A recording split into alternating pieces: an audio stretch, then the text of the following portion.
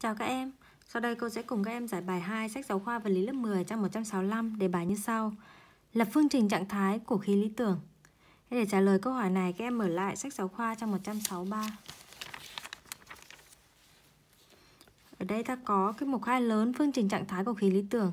Để lập phương trình này, thì ta xét ba cái trạng thái chuyển lượng khí từ trạng thái 1 sang trạng thái 2 qua trạng thái trung gian 1 phẩy có các thông số tương ứng như trên. Chúng ta cũng sẽ xét ba trạng thái như thế. Vậy ta sẽ trả lời câu hỏi này như sau. Giờ xét ba trạng thái. Trạng thái thứ nhất có ba thông số là P1, V1 và T1. Sang trạng thái trung gian là trạng thái 1 phẩy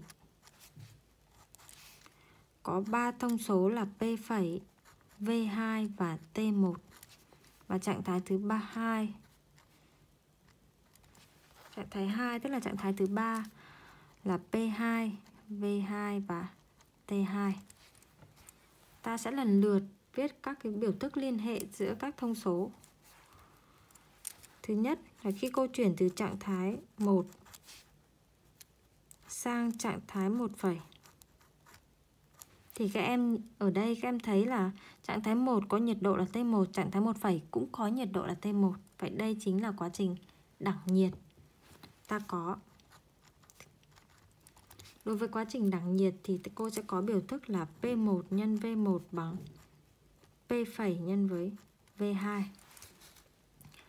Vậy cô suy ra cô rút P phẩy ở đây sẽ được là P1 nhân V1 trên V2. Các em đánh dấu là 1. Tiếp tục, cô xét trạng thái 1 phẩy sang trạng thái 2 1 phẩy sang 2 Ta có như sau. Các em quan sát lại, trạng thái 1 phẩy có thể tích là V2 Và trạng thái 2 cũng có thể tích là V2 Như vậy từ 1 phẩy sang 2 chính là quá trình đẳng tích. Vậy ta sẽ có phương trình của quá trình đẳng tích chính là P phẩy trên cho T1 bằng P2 trên cho T2 Cô đánh dấu đây là 2 Vậy cô thay Thay 1 vào 2 ta được. Ta được các em thay P phẩy vào Vào phương trình 2 P phẩy sẽ là P1 nhân V1 trên V2 Cô giữ nguyên T1 ở mẫu. Với phải ta để nguyên bằng P2 trên T2 Vậy tương đương với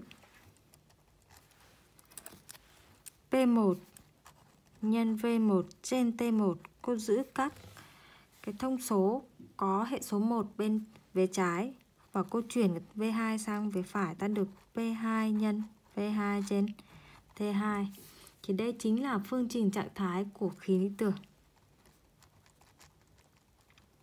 Phương trình trạng thái của khí lý tưởng.